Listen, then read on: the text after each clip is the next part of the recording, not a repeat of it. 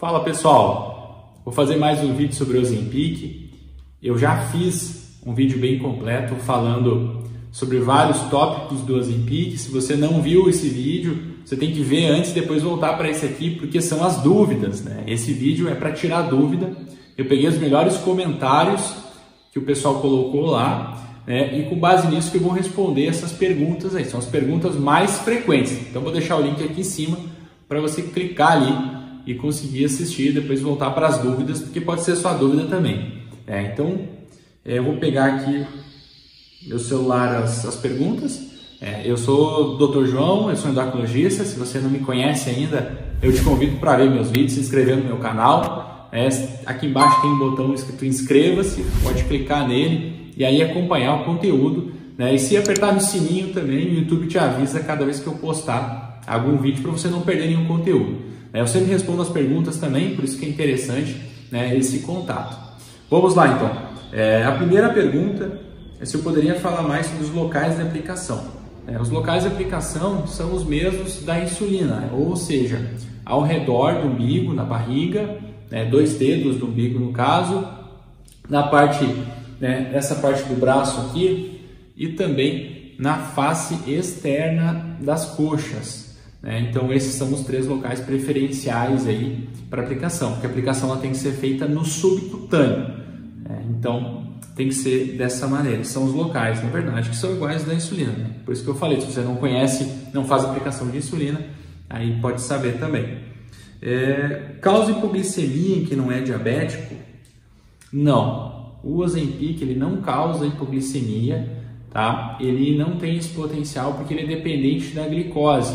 É, o efeito dele aumenta quando a glicose aumenta mais, por isso que ele é usado para diabéticos, né? Eu comentei a fisiologia dele, como é que ele atua é, no outro vídeo, mas basicamente isso, ele não causa hipoglicemia. Ele tem uma nota até na bula que você deve se atentar se estiver usando junto com sulfanilureias, que é gliclazida, glibenclamida, glimepirida, é, essa classe de medicação, e com insulina, né? porque ele pode potencializar o efeito dessas medicações. Vamos lá. É, a Márcia perguntou aqui se qual a idade mínima para uso. É, não está aprovado ainda para menores de idade, então é de 18 anos para cima. O limite superior eles não colocaram, então o que tem é que você não pode utilizar se for menor de idade. Pode aumentar? Não, não pode aumentar. Se você está pensando em engravidar, também não pode utilizar. Se estiver grávida, também não pode utilizar porque não tem estudo suficiente para falar é, como se comporta com o feto ou se ele é ou não excretado pelo leite materno. Então não pode é, amamentar. É, meu médico me disse que era off-label, eu não entendi mais nada. Então muitas vezes a gente comenta termo técnico com o paciente e o paciente realmente não entende. O que, que significa off-label? Off-label é fora da bula. Label é bula, né? Off-label, então fora da bula. Essa expressão ela é utilizada quando um tratamento ainda não está aprovado, não está na bula, mas o médico prescreve de maneira off-label. É, no caso, ele deve ter prescrito é, para você para obesidade, que o Ozempic ainda não é aprovado com obesidade. Tem muitos médicos usando, então a gente fala, é off-label, essa medicação ainda não está na bula como sendo uma indicação, indicação dela hoje em dia é o diabetes tipo 2, né, da data do vídeo. Então, para a obesidade, ela é off-label. É, qual a diferença do Saxenda? Isso seria tema para um vídeo inteiro, né, mas basicamente é o tempo de excreção dele, a meia-vida que a gente chama. O Saxenda ele tem uma ação de mais ou menos 24 horas.